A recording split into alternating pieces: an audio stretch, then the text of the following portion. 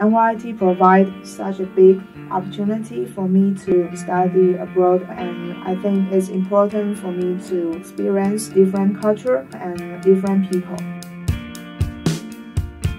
Studying in international business and management is very important uh, because you have to consider globalization and think if you can open your company in a foreign country and you can receive more profits.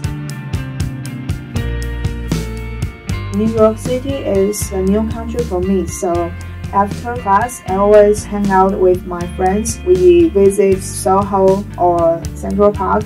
It's very interesting and it's very beautiful.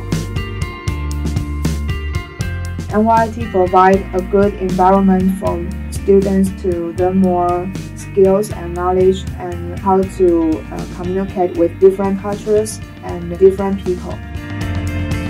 I am MinLi ChangChien, School of Management, class of 2013.